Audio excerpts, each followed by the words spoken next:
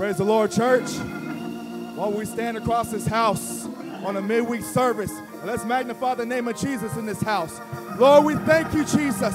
God, we love you, oh Father. Oh Father, we thank you, God, for allowing us to be in your house tonight, Lord.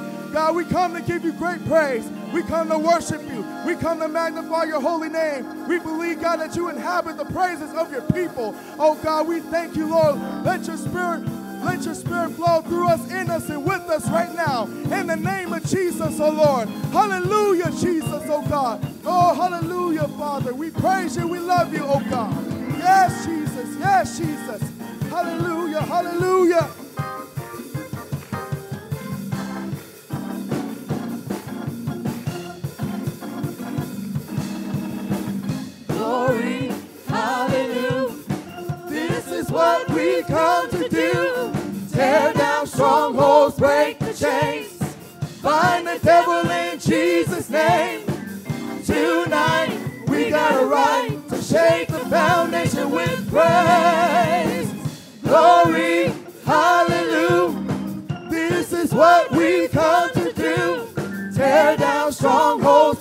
The chains.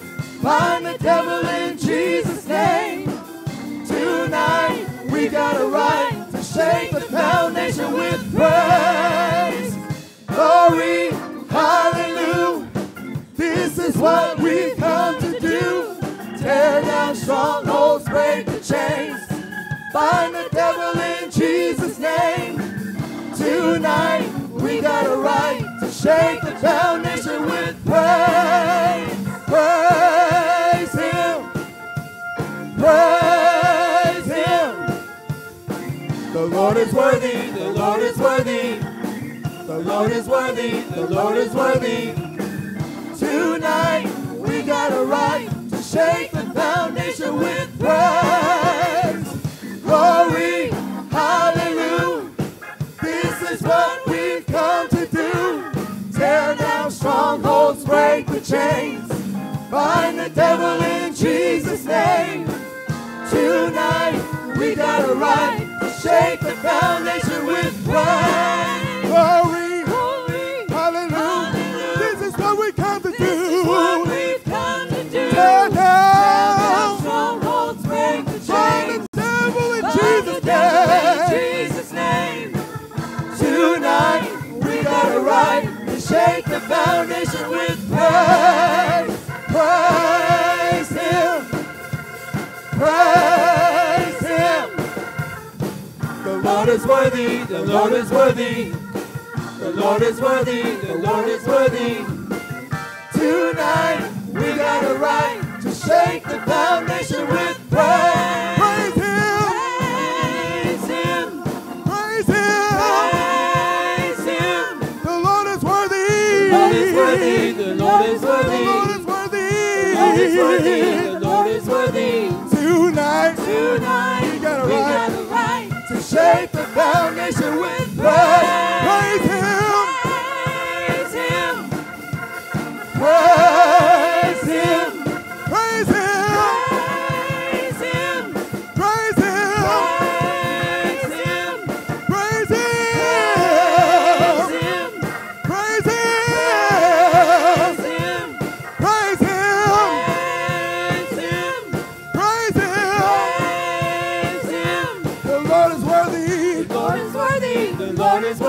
Lord is worthy. The Lord is worthy. The Lord is worthy. Tonight, Tonight we got a right to shake the foundation with praise.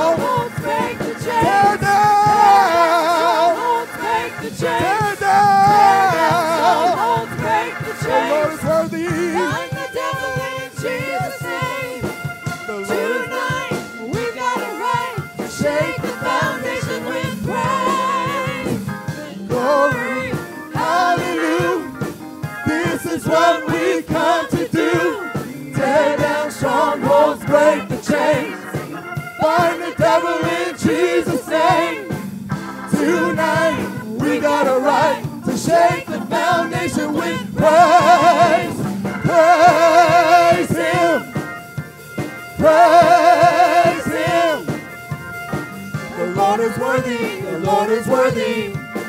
The Lord is worthy. The Lord is worthy.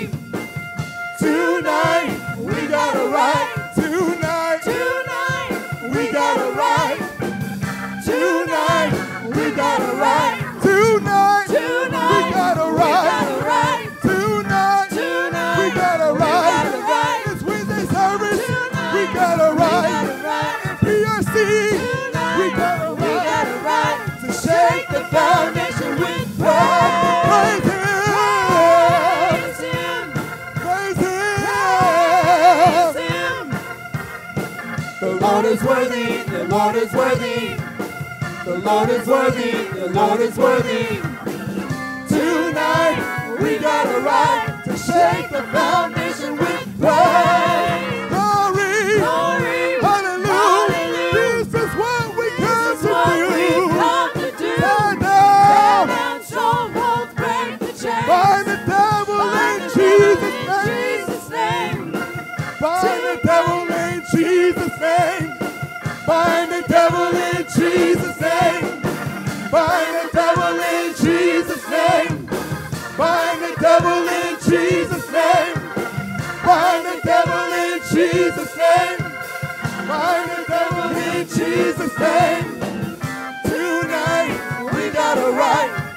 laid the foundation with prayer.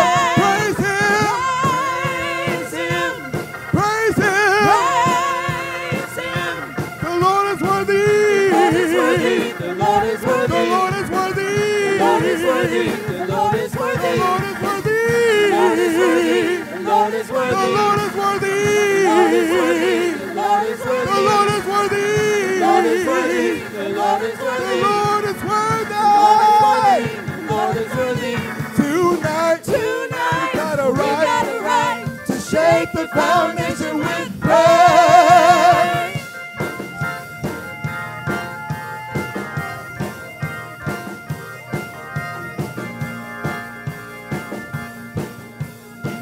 Why don't you go ahead and lift those hands and praise Him a little bit right now? Let's come on. There's a battle going on between spirit and flesh right now. Go ahead and tap into the spirit. Put the flesh on the altar. Your soul is going to thank you for it. Heaven is here to meet with us. Heaven is here to bless us. Go ahead and push on through the flesh a little bit right now until you're praying in the spirit, until you're worshiping in the spirit. That's it. You're feeling the glory. You're feeling the refreshing come over you. You're doing more than being emotional. You're shaking the foundations. There's spiritual warfare going on right now. Your victory is in your praise.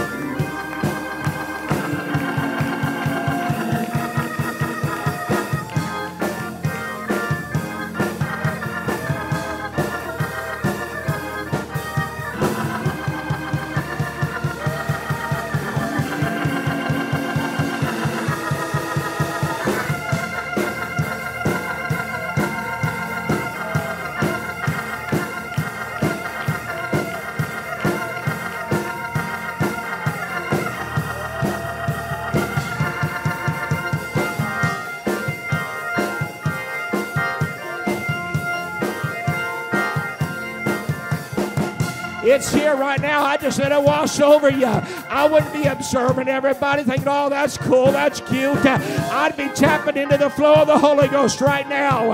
It's flowing in this house. Push past your flesh.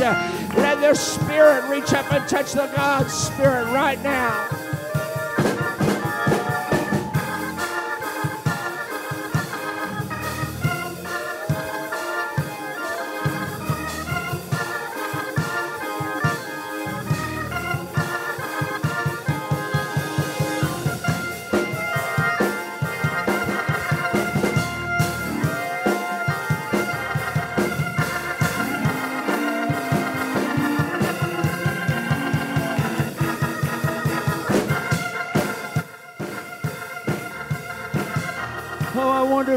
Lift our hands all over this place. The song says that we have a right to praise Him. I don't know about you, but I'm thankful that I can be in the house of the Lord and I can praise the one who created me. I can praise the one that called me out of darkness. We have a right to praise Him tonight.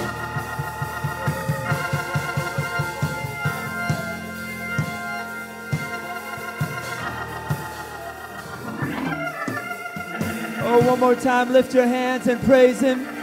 The Bible commands us to praise ye the Lord.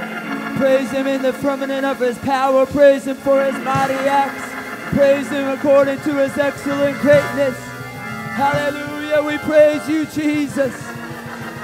Hallelujah. We praise you tonight, God. The Bible says that He inhabits the praises of His people. That means that when we praise Him, that He comes and He dwells and He literally sits among His people when we begin to praise and lift up praises to the name of Jesus. So, what has transpired in this place is we've lifted up the name of Jesus. We've praised Him tonight, and His presence, we can feel it here with us today. So, what better place and what better time than to lift up our needs unto the Lord tonight? I don't know about you, but I have needs in my life. And God is able to meet not just my need, but every need in this house, every need that is connected to individuals in this place. We want to lift up the name of the Lord for my wife, my, my wife's mother, my mother in law, battling cancer. We want to remember Marlene and Al Rivard. We want to remember Doug Weber. We want to pray for a special need tonight. Remember Sister Elder Sansom, the Sansom family. Her brother passed away. We want to remember this family in our need, in our prayers tonight, that God would comfort and touch them tonight. Would you lift up your hands with me in faith? Let's go to the Lord, name of Jesus, to the Lord tonight. Hallelujah, God.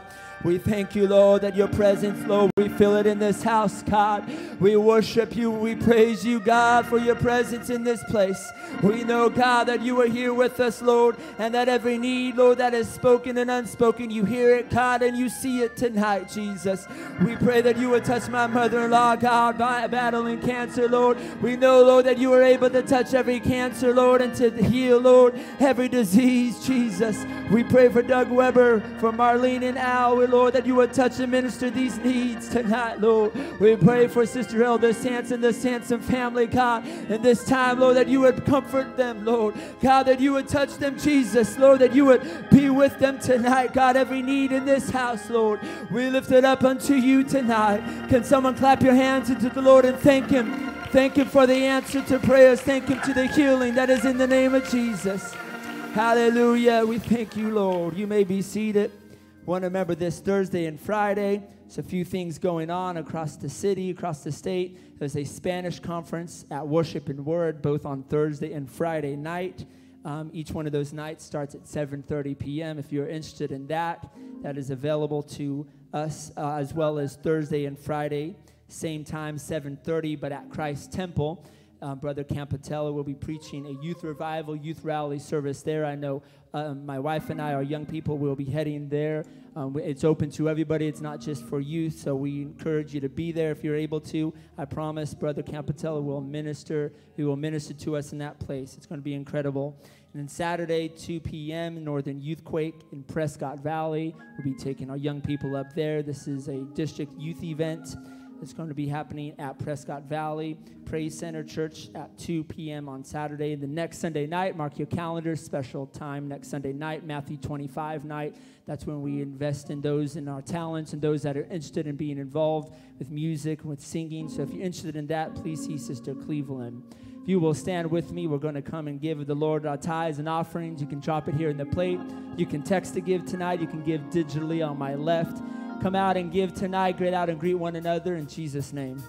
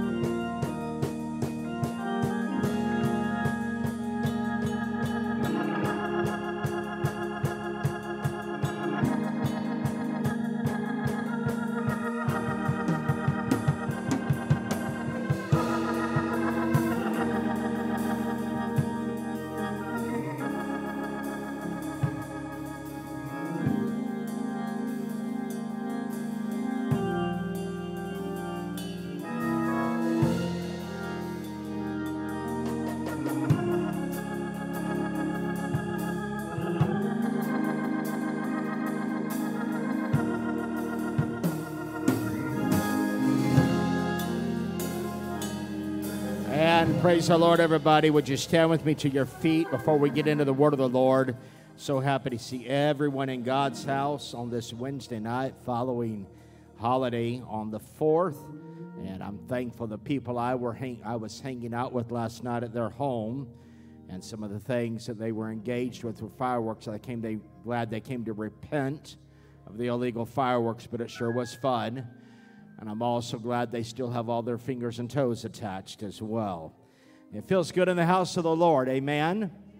Thankful to be in God's house. Brother Darion, that's the way song service is supposed to be. It's obvious he prayed song service through before he ever had song service.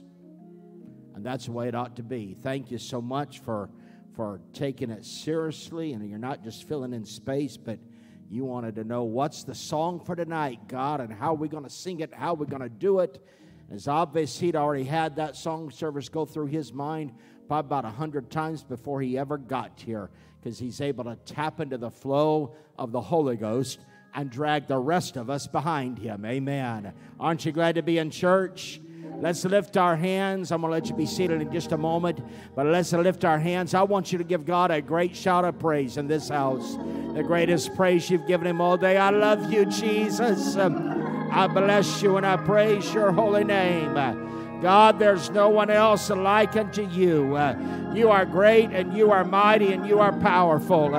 Blessed be the name of the Lord. Blessed be the name of the Lord. I magnify you. I bless you. I praise you, Jesus. Hallelujah, hallelujah, hallelujah. Bless your name. Put your hands together uh, and clap your hands and shout to God. Open your mouth up. Open your mouth up and shout for the victory. Hallelujah, hallelujah. Oh, there's victory in your shout. If you got a need, I just shout a little more. Everyone else is being quiet. Do you want your victory? How desperate are you right now?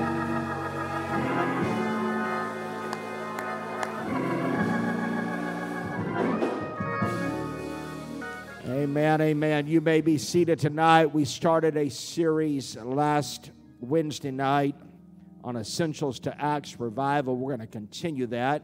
It's good to have everyone in the house of the Lord. Aaron, it's so good to see you and your family. Love you all dearly. It's wonderful to see how that baby has grown in the hand of God. She is a miracle, and we thank God for that. It's also good to see Juliet back with us again tonight, enjoying the presence of the Lord. Amen. And I'm glad the church family is here. There's nothing like the body of Christ. We began a series last week about essentials to an Acts revival, and we covered lesson number one was that of faith.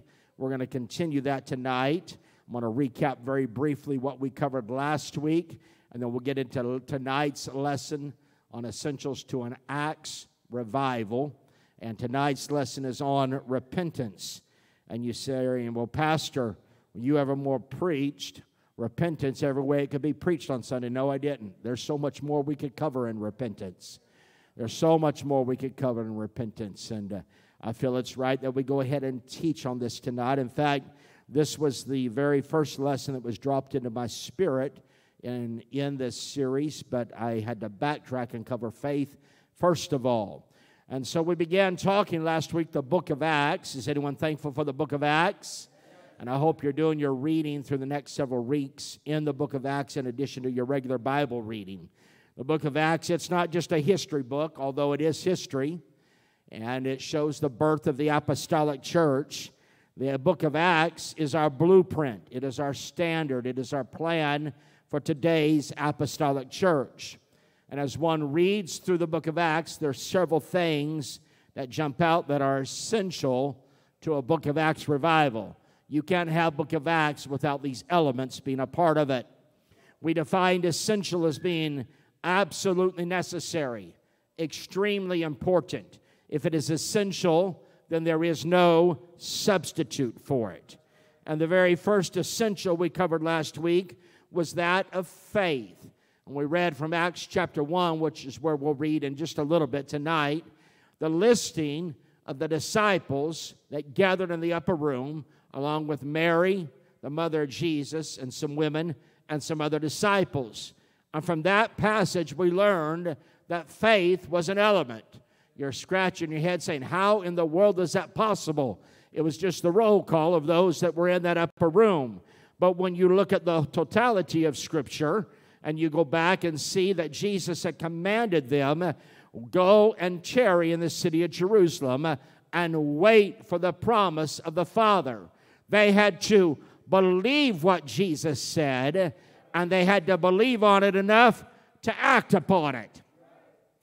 And that is what faith is. It's not just a mental assent, it is believing in something enough to act upon it. And they had faith, for they believed Jesus uh, and they acted on it. Faith is believing the Word of God and then acting on it. Does anyone want a book of Acts revival in this day and hour? It's happening all over the world. I say, why not here? And if we're going to have a book of Acts revival, it's essential to have faith. And you can't go down to the Bible bookstore. You can't go to Christian book distributors and order it online.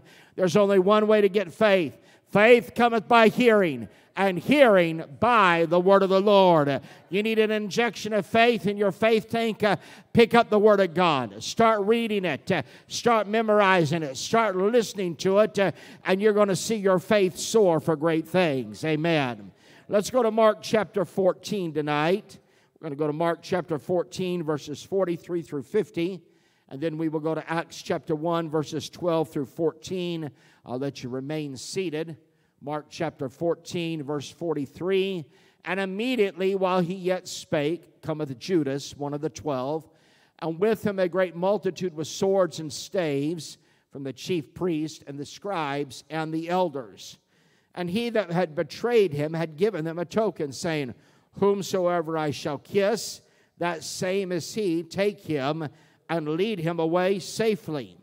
And as soon as he was come, he goeth straightway to him and saith, Master, Master, and kissed him. And they laid their hands on him and took him. And one of them that stood by drew a sword. And when you read parallel passages, you know that that was Peter he took a sword and smote a servant of the high priest. Again, a parallel passage will show you that was a man by the name of Malchus. And he cut off his ear. When you really study that out, I believe Peter was trying to cut his head off and not his ear. Verse 48 And Jesus answered and said unto them, Are you come out as against a thief with swords and with staves to take me? I was daily with you in the temple, teaching, and you took me not but the scriptures must be fulfilled. Pay attention to verse 50. And they all, everyone say all, and they all forsook him and fled. They all forsook him and fled. Acts chapter 1, verses 12, 13 through 14. Then returned they unto Jerusalem from the mount called Olivet, which is from Jerusalem a Sabbath day's journey. And when they were come in, they went into an upper room where abode both Peter and James and John and Andrew, Philip and Thomas, Bartholomew and Matthew, James the son of Alphaeus, and Simon Zelotes, and Judas the brother of James. Verse 14. These all continued with one accord in prayer and supplication with the women and Mary, the mother of Jesus, and with his brethren. My aim tonight is to persuade every one of us from these two passages that if you're going to have a book of Acts experience, encounter, revival, repentance must be a part of it.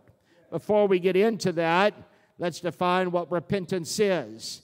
I'm going to give you a very formal definition from a Bible dictionary. This Bible dictionary states there are three Greek words used in the New Testament to denote repentance. I'm going to butcher these when I pronounce them. The verb metamelomai is used of a change of mind such as to produce regret or even remorse on account of sin, but not necessarily a change of heart. They're sorry for what they did, but they're not sorry enough to change. This is the word used in reference to the repentance of Judas in Matthew chapter 27 and 3. He tried to repent but was unable to. That's that word. I'm sorry I got caught. I'm sorry I did what I did, but I don't think there's any recovery from it. The second word is metanoeo, meaning to change one's mind and purpose as the result of after knowledge. If I would have known then what I know now, I wouldn't have done that. And I want to correct action. This verb with the cognate noun, metanoia, is used of a true repentance. It is a change of mind and purpose in life to which remission of sin is promised if they follow through with this. True biblical repentance consists of a true sense of one's own guilt and sinfulness. You will never fully repent as long as the blame is on someone else. Well, they made me do it. No, they didn't. They may have allured you, they may have tempted you, but it was your choice. The devil made me do it. No, he didn't. He doesn't have that much power.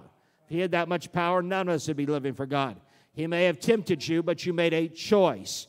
And so it's a true sense of one's own guilt and sinfulness. It matters not if for 10 generations prior to you, everyone was a habitual sinner. You can't say, oh, it's a generational curse. No, you have a choice. You can be a cycle breaker. You can break out of that trap and provide a home and a family for your children afterwards that never knows the junk you had to face. You're not trapped by that. I feel like I'm hitting some speed bumps here. You have a choice. And so you've got to own up and say, it's my sin, it's my guilt, it's my shame. That's true repentance. That's the first part of it.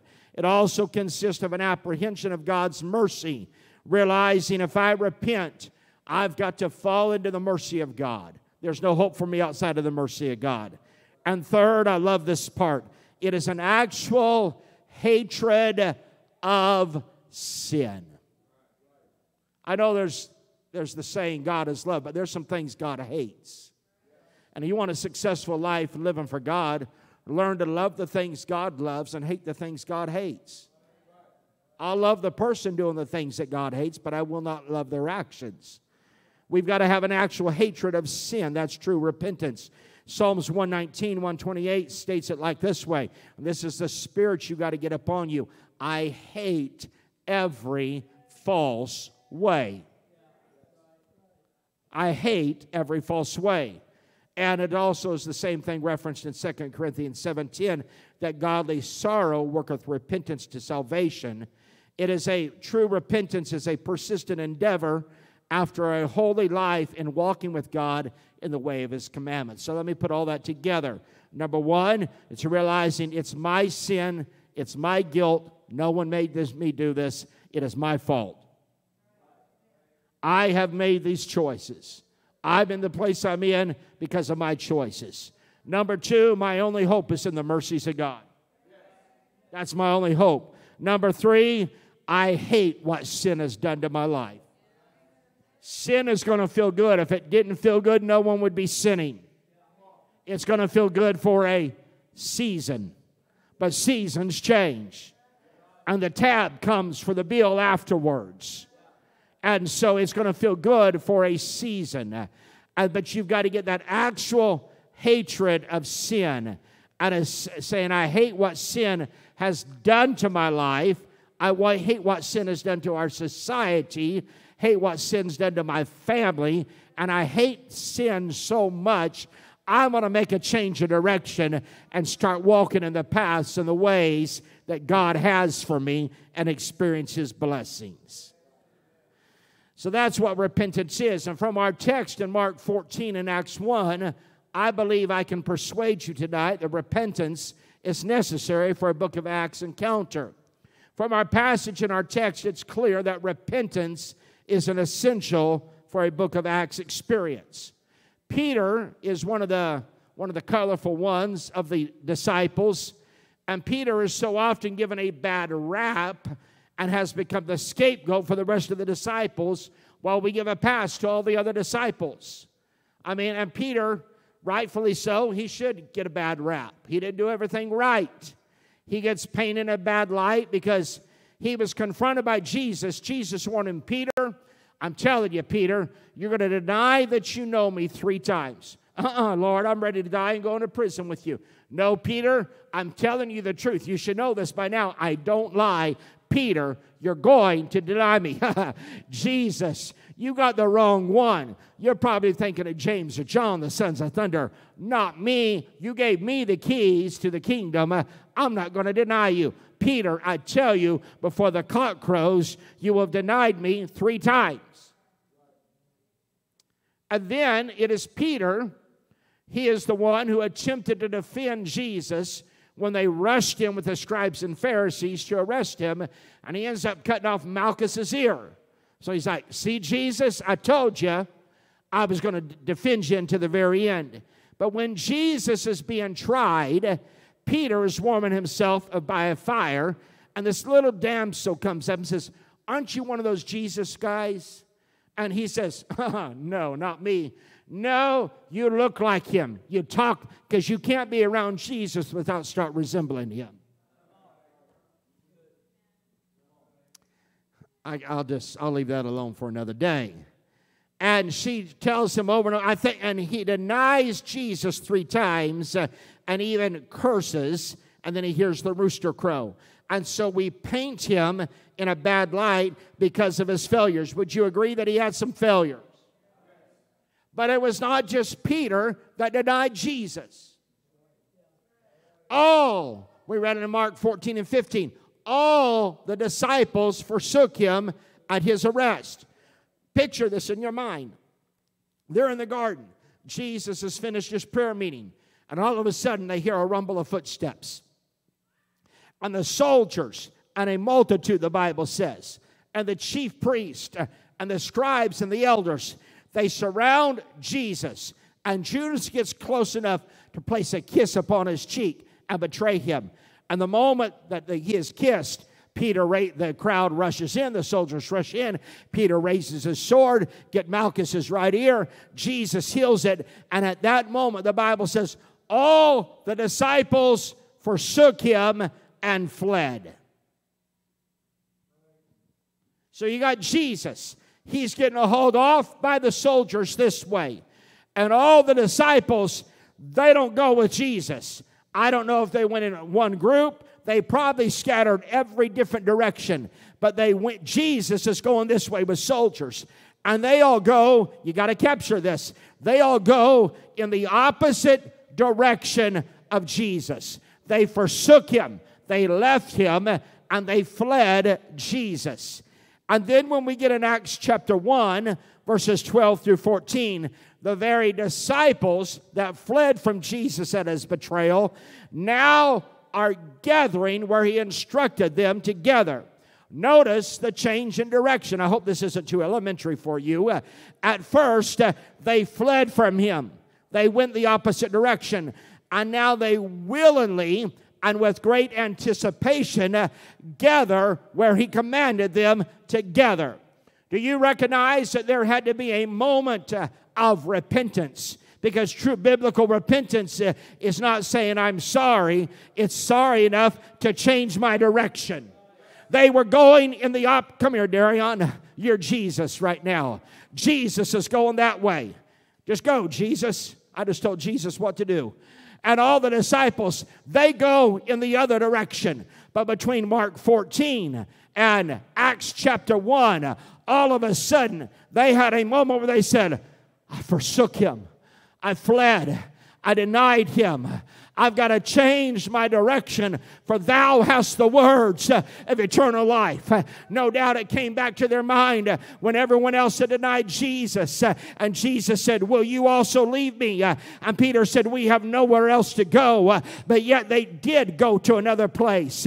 And all of a sudden, they're going here and there and everywhere in opposite direction from Jesus. But they have a moment of repentance where they say, God, I'm sorry and I'm changing my direction. It's not repentance like Judas had, where it was just feeling bad, but no change of heart and no change of direction. But it was true biblical repentance, where they felt bad for what they had done. They felt bad enough to change direction and recognize we must fall into the mercies of God. And so they changed the direction. And Jesus said, You can be seated now, Jesus. Thank you very much.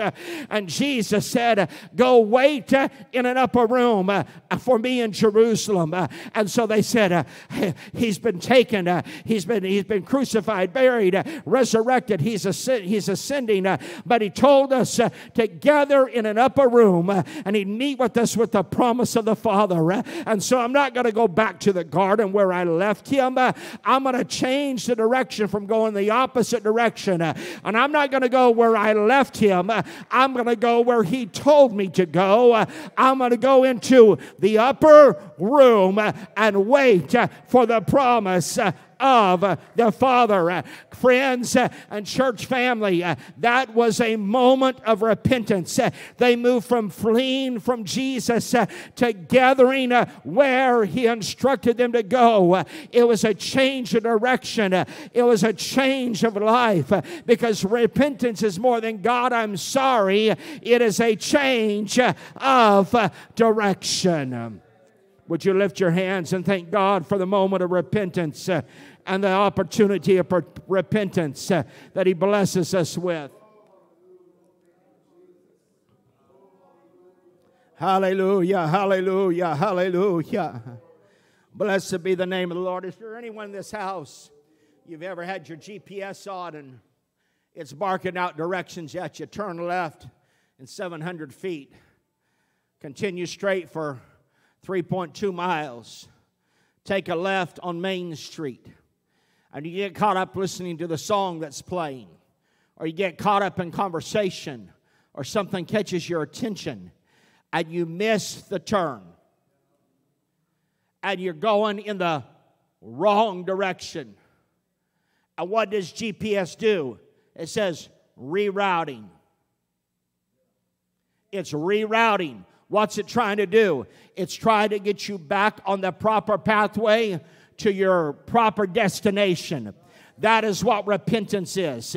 It's God's rerouting system uh, in life. Uh, even after you've been saved, uh, we all miss a turn at times. Uh, we miss a, commandment of God at times. Uh, we miss an instruction. Uh, we miss a moment. And we continue on a path that's taken us from the destination God has for us heaven and eternity with Him. And what does God do? He doesn't say, Oh, Go find your own way. I don't care. Uh, go to hell. I don't care. Uh, no, he says, I'm rerouting you. Uh, I'm trying to get you back. The goodness of God is rerouting you and leading you to an altar uh, of repentance. Uh, and the goodness of God is rerouting you. Say, oh, don't, don't go down that street. You're going the wrong way uh, on a one way street. it may look like a really good road, but broad is the way that leads to destruction uh, and narrow is the way uh, that leads to life everlasting. Uh,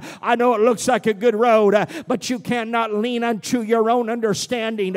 But in all your ways, you better acknowledge Him, and He will direct and redirect and reroute your path. It felt really good in my flesh to take this road and miss those commandments. But God says, uh uh-uh, uh you need to get back. You need to reroute to a place place of repentance. Uh, not just saying, I'm sorry, uh, but getting you back in the direction uh, you're supposed to be going. You are headed in the wrong direction, and God reroutes you through repentance back on the path. thank God for the moments of repentance. I have a question for you today. Where would we be without repentance?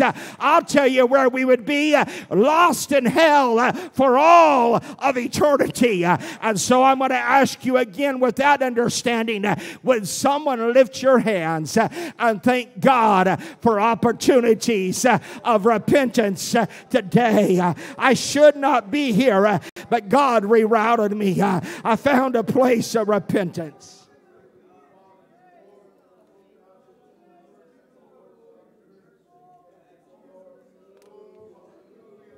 Hallelujah. Hallelujah. Thank God for repentance. Thank you, Jesus, for repentance. Bless your name. It is obvious to me that the disciples that gathered in the upper room found a place of repentance from the time of their betrayal until their tearing in an upper room. I feel like I've persuaded you of that point. What's interesting to me is those disciples were going to preach repentance. But before they could preach repentance, they first had to practice repentance. Before you can be telling everyone else you need to repent and get right and have advice, you better get your inner person.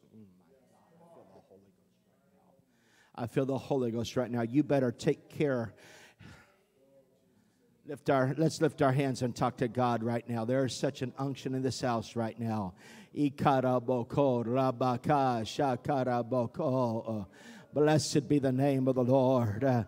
Blessed be the name of the Lord. Blessed be for the name of the Lord.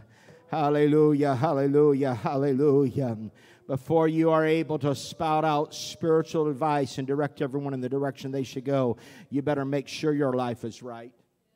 You better make sure your heart is in submission and your spirit is in submission, or else you're going down a pathway of hypocrisy. And before they could preach repentance, they first had to practice repentance. When you look throughout the book of Acts, we always think of outpourings of the Holy Ghost, baptism, miracles, signs, and wonders. When you look in the book of Acts, repentance was preached and it was practiced throughout the book of Acts. The very first mention of it, I showed you an example of it without it being mentioned. But the very first mention of it is in Acts 2:38.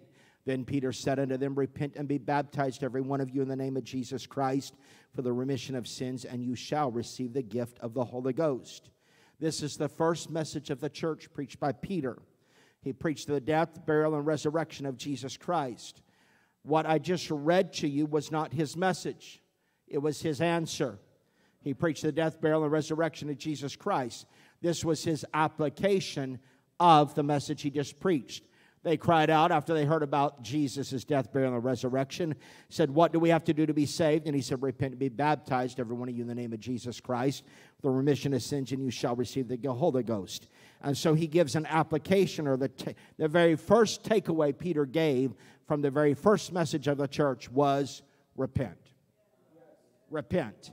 In Acts chapter 3 and verse 19, Peter is speaking from Solomon's porch in the temple following the miracle of the, main, of the lame man. And he states to repent and that conversion, blotting of sins and times of refreshing would follow. In Acts chapter 5, verse 31, it states, Him hath God exalted with his right hand to be a prince and a savior, to give repentance to Israel and forgiveness of sins. Peter has just been delivered from prison with other apostles, and he stands and he begins to preach repentance. Now, I believe Peter was moved on by the Holy Ghost, but I think there was a little bit of flesh there as well, because no doubt the ones that had arrested him were standing there hearing him, and he's telling them they need to repent as well. You'll catch that later. Acts chapter 8, verse 22 states, Repent therefore of this thy wickedness, and pray God, if perhaps the thought of thine heart may be forgiven thee. Peter has been approached by Simon the sorcerer. He's desiring by the power to lay hands on people so they can receive the Holy Ghost. And Peter tells him, You need to repent of the wickedness in your heart and pray to be forgiven. In Acts chapter 11, verse 18, when they heard these things, they held their peace and glorified God, saying, Then hath God also to the Gentiles granted repentance unto life. The apostles and brethren in, Judea had gathered together they wanted to hear Peter's account of Cornelius being converted. They're like, I'm not sure this was a God thing because he's a Gentile and we're Jew. I don't know if this is good and I don't know if this is right. Peter gives his account of it and states the Gentiles have been granted repentance unto life and they received it. But notice it included repentance. In Acts chapter 13, verse 24, when John had first preached before his coming the baptism of repentance to all the people of Israel. Paul is preaching in Antioch here, and he references John the Baptist preaching repentance. I'm talking about repentance was preached throughout the book of Acts. In Acts chapter 17 and 30, the times of this ignorance God winked at, but now commandeth all men, that's us, commandeth all men everywhere to repent Paul is speaking to the men in Athens on top of Mars Hill, preaching about the, the altar to the unknown God and introducing to them. And he preaches to them, God that I'm preaching to you about is commanding that men everywhere needs to repent. In Acts chapter 19 and 4, Paul said, John baptized with the baptism of repentance. saying unto the people they should believe on him which should come after him, that is on Christ Jesus. Paul is preaching in Ephesus, and he references and validates the ministry of John the Baptist and his message of repentance. Just stay with me tonight. Acts chapter 20 and verse 21, testifying both to the Jews and also to the Greeks repentance towards God and faith towards our Lord Jesus Christ. Paul is speaking to the Ephesian elders, and uh, he testifies that we must, everyone say, we must we must have repentance towards God. And finally, in Acts chapter 26 and 20, but showed first unto them of Damascus and at Jerusalem and throughout all the coast of Judea, and then to the Gentiles that they should repent and turn to God and do works meet for repentance. Paul is standing before King Agrippa and he testifies how he preached repentance and that there would be works of repentance as well. In other words, it's not just going to be lip service, uh, you're going to see fruit of that repentance. Uh, all throughout the book of Acts, you find mentions of repentance. Uh, in fact, there are 10 instances there. Do you believe that the Holy Ghost is necessary? Do you believe that baptism in Jesus' name is necessary? When you count up the number of Holy Ghost infillings, uh, as far as recorded in Scripture, and the number of baptism in Jesus' name in the book of Acts. Uh, there are far more references to repentance in the book of Acts uh, than there are to the Holy Ghost, uh, or than there are to baptism in Jesus' name. And those are both necessary and they are both valid. What I'm trying to convey to you tonight uh, is you cannot have an Acts revival, you cannot have a book of Acts church uh, without uh, a message of repentance. Uh, but before you can preach a message of repentance, uh, you must first individually live a life uh, of repentance. We could have crowd growth, but not have repentance. You could have crowd growth and pack this place out five times on Sunday, but the moment you start preaching repentance, that crowd is going to be like Jesus' crowd and dis- disappear. You may have a crowd, but not a church. You may experience crowd growth, but not church growth. If you want a book of Acts experience, that's what I want. I don't want flesh. I don't want your ability. I want a divine, sovereign blowing like it was in this house during during uh, during worship service. Darian did not practice that as I say, okay, I'm going to do this dance. It's going to make them move. No, he was moving under the inspiration and the anointing of the Holy Ghost. That's what I want. Uh, I want a move of the Holy Ghost. Uh, I want a book of Acts experience uh, where people say that is certainly a hand and the touch of God. Man could not do it. And if you want that, it is essential. There is no substitute. We must have a life of repentance, a message of repentance, and a church of repentance. Would you lift your hands and love Jesus right now?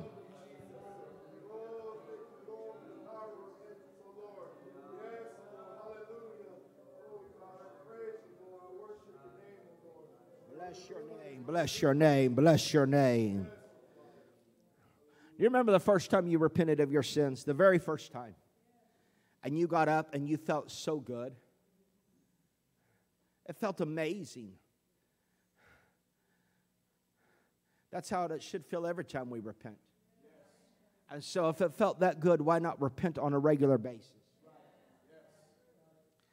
John the Baptist was the preacher of repentance in the Word of God. Just about every prophet that came, they came with a message of repentance. Turn from your wicked ways. But John the Baptist is hailed as the preacher of repentance, and his purpose was to prepare the way of the Lord. And that tells us something. John came preaching repentance, preparing the way for the Lord. The application for that is uh, for us is this: repentance prepares a pathway for God in our life. Man, I just can't feel God. Have you tried repenting? Well, I don't think I'm doing anything wrong. Doesn't matter. A life of repentance will prepare a pathway for the presence of God. Take me to any great revival in history, and I'll show you it always started with a pathway of repentance. Take me to any crusade where thousands upon thousands are receiving the Holy Ghost overseas, and the very first thing they do is they pray a prayer of repentance. But we prayed it last night. So that was 24 hours ago. Let's pray repentance again. And God always responds to that pathway of repentance. In John's preaching, he used the phrase, you got to bring forth fruits for repentance. He's implying that if one repents, it will be visible in their life. How do you know it's an apple tree? You see apples on it. How do you know it's an orange tree? You see oranges on it. How do you know someone's living a life of repentance? You see the fruit of repentance in their life. What does that mean? The fruit of repentance is change in an individual's life. I'm sorry, this is not repentance. I'm headed towards sin. That wall is sin. And I stop here on a Sunday morning and say, God, I'm so sorry. And you go through three boxes of Kleenex and everyone's emotional and you're snotting and you're crying and tearing. God, I'm so sorry. And you get up and you keep walking towards that repentance. There's no fruit of repentance. That was an emotional display. It was you were moved by emotions. You were not moved by conviction. You were moved by emotion because true repentance, uh, there's always fruits of repentance. You will know them by their fruits. Uh, you know if someone's repented by the change that is in their life from repentance. Uh, repentance doesn't get up uh, and return to their wallow and, and mire and the, and the mud. They get up and get out of the sin that they're in uh, and start walking towards the path of God. They stop fleeing from Jesus like the disciples did uh, and they start pursuing Jesus. sin always makes you go away from God. That's why Adam and Eve, they ate of that fruit in the tree of the garden. And God shows up with mercy. That's how God is, a space of mercy and grace.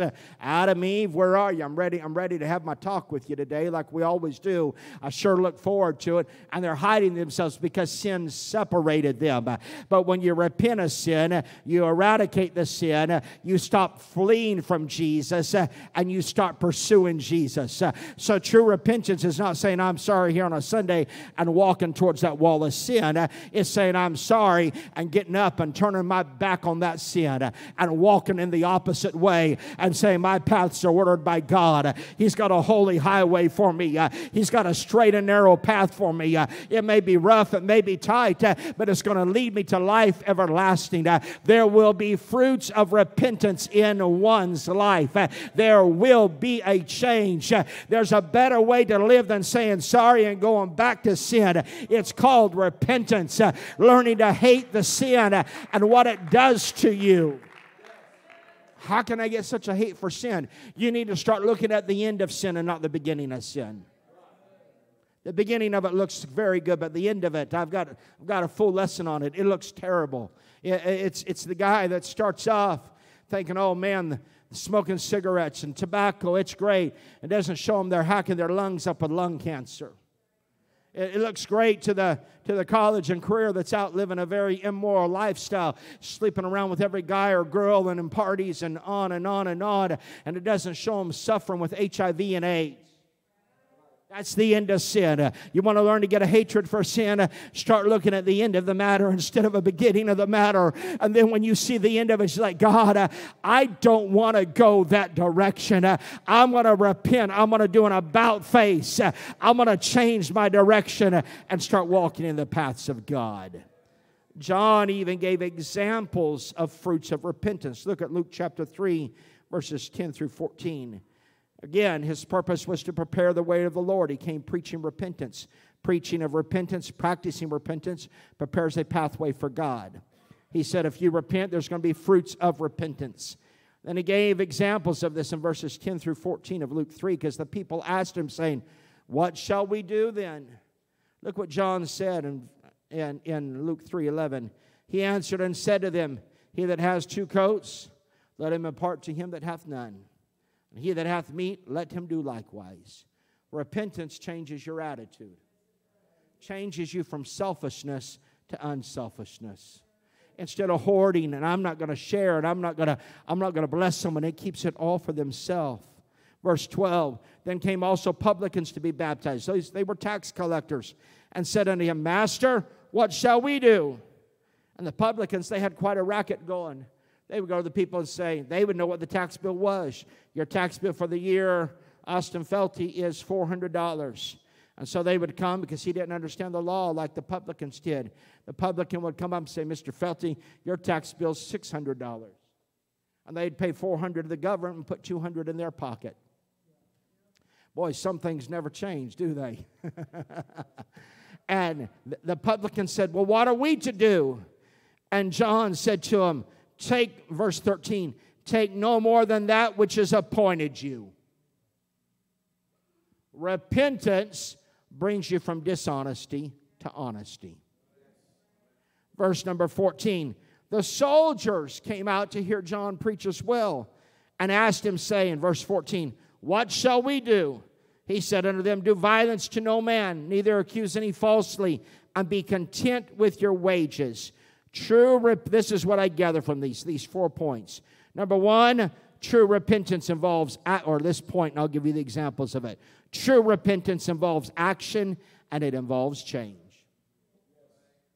True repentance is not crocodile tears saying, I'm sorry, so sorry that I was such a fool. You heard that Sunday. We won't go through that again. It involves action and change. If you got two coats or meat, stop being selfish. Give some away.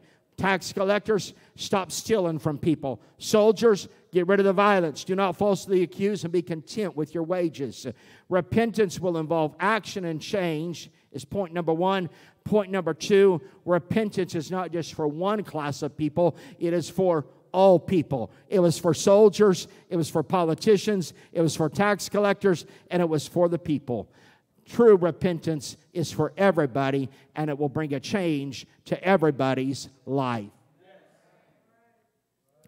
But where did John, got to picture this, there hadn't been an anointed prophet preaching for 400 years. That's why everybody gathered out.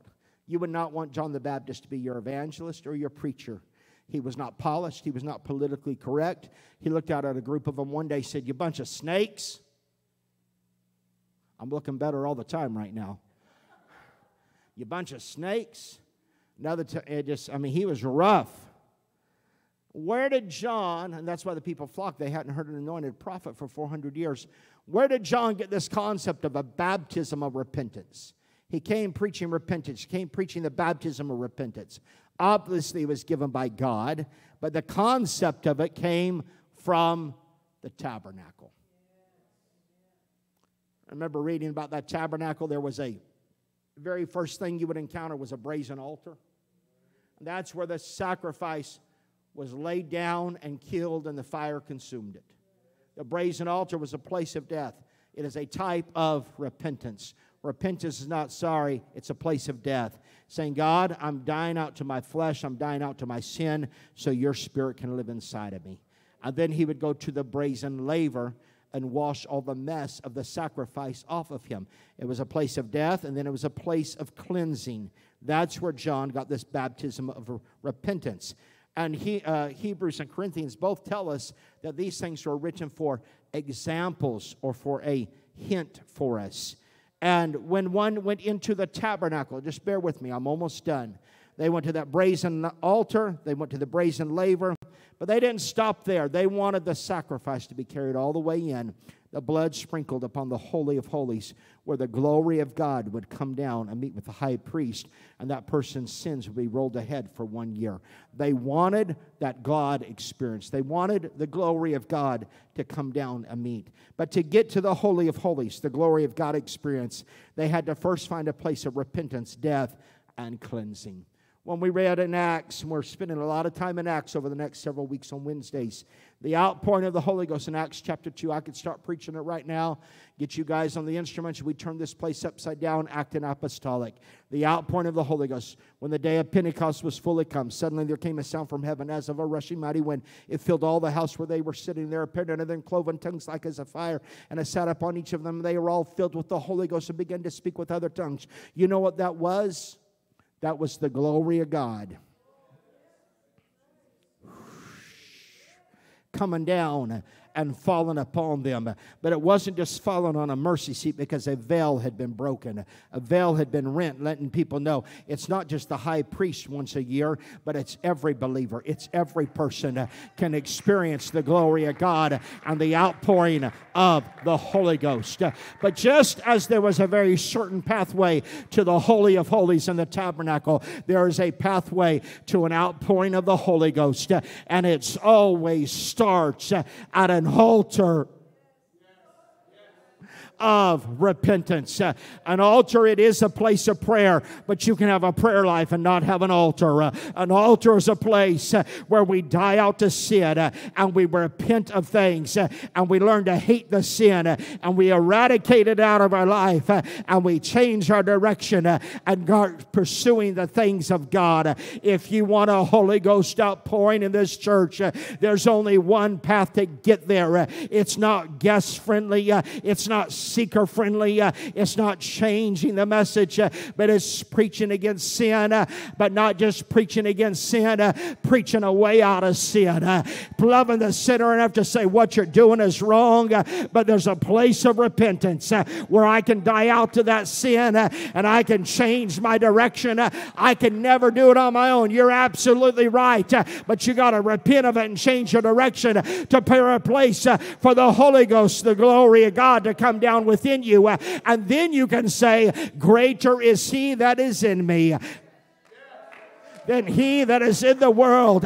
How do you get that power inside of you? Well, there's a few steps, but the very first is you've got to have a, place of repentance. PRC, if you want to be a Holy Ghost and fire church, if you want to be a Book of Acts church where the Holy Ghost is falling on a regular basis, if you individually want to be the temple of the Holy Ghost, which you ought to be, you must have a place of repentance.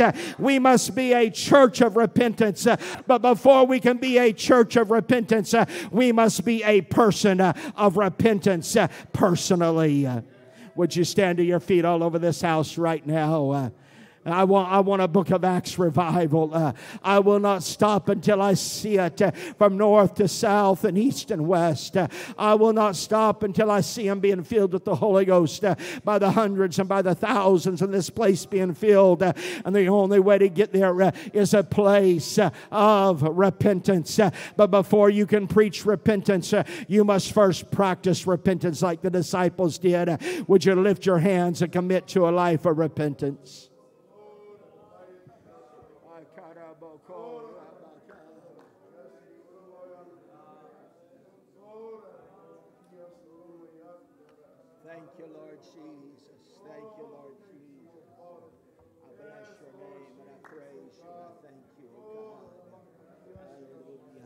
I want us to thank God. Let's lift your voice and thank God that God has given us a space of repentance. He's given us the opportunity of repentance. God, we are so grateful you've given us a place of repentance. You give us a place where we can come and turn our lives back to you. We are not perfect, God. We are far from it, but in your great mercy and grace, uh, you give us a place of repentance. You reroute us back towards you and back towards the things of God.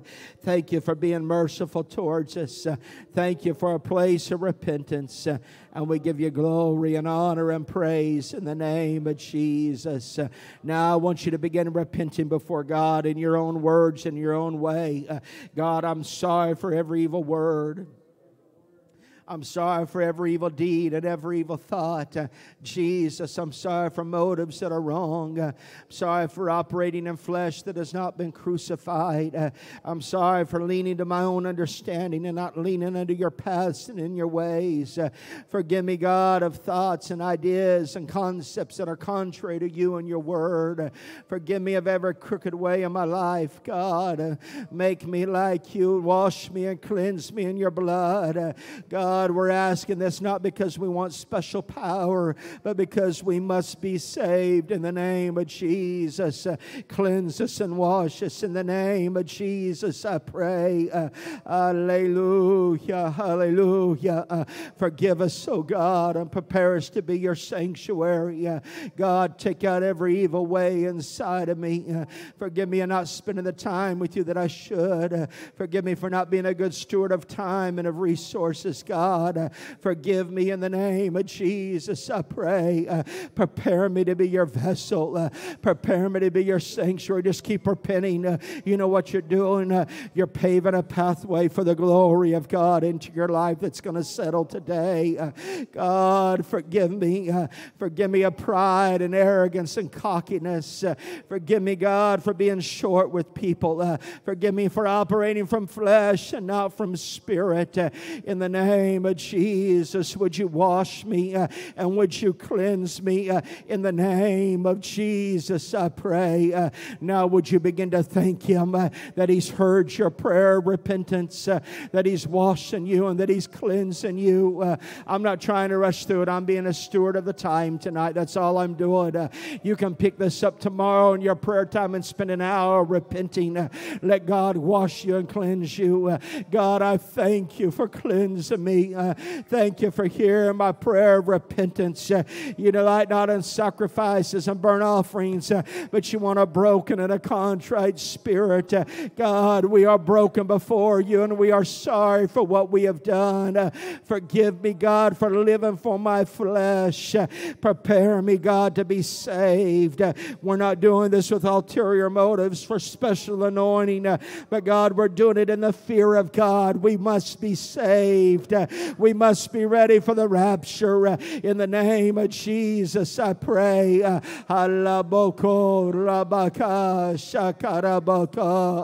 Now lift your head towards heaven and lift your hands. We have repented of our sins. We have prepared for the Holy Ghost right now. We have prepared a pathway for God to come in. We have prepared a pathway for the Holy Ghost, the glory of God to settle in. Now, would you lift your voice in praise and glory? Uh, because if we confess our sins, uh, He is faithful and just to forgive us uh, and cleanse us from all unrighteousness. And now lift your voice in hallelujahs and praise to God. And the Holy Ghost, just as it's already blowing in this house, just as it blew in in Acts chapter 2. It's going to blow in not just to this building, but into your soul. Alabaka, receive you the Holy Ghost all over this house. Be refilled with the Holy Ghost. Uh, Alabaka, go ahead and talk in tongues. Go ahead and talk in tongues. You prepared a pathway for God. Uh,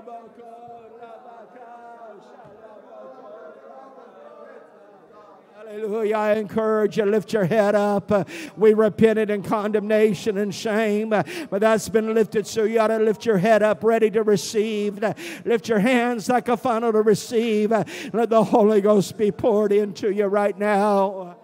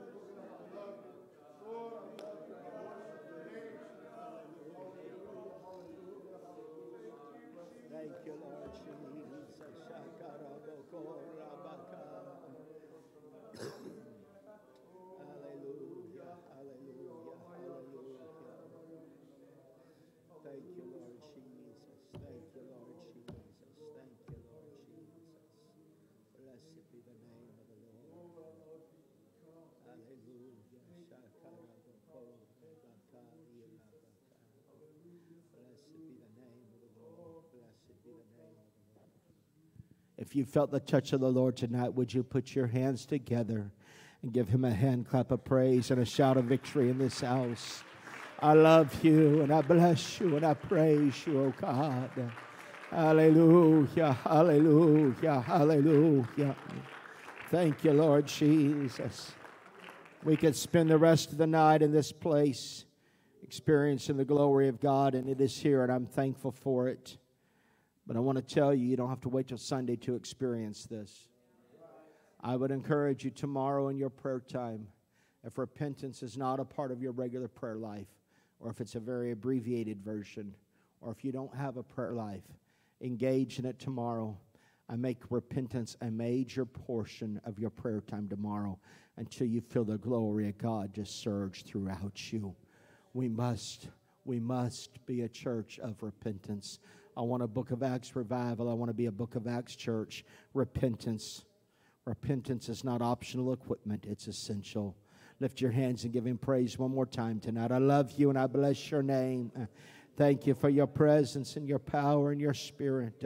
I love you, Jesus, and I bless you, oh God. Hallelujah, hallelujah, hallelujah. Blessed be the name of the Lord. By no means was tonight a, an exhaustive study of repentance. It was very brief highlight. We could study it for an entire year probably not cover every aspect of repentance, but rather than know everything about it, studied out, yes, it'd be better that you just practice it on a regular basis. God bless you today in Jesus' name.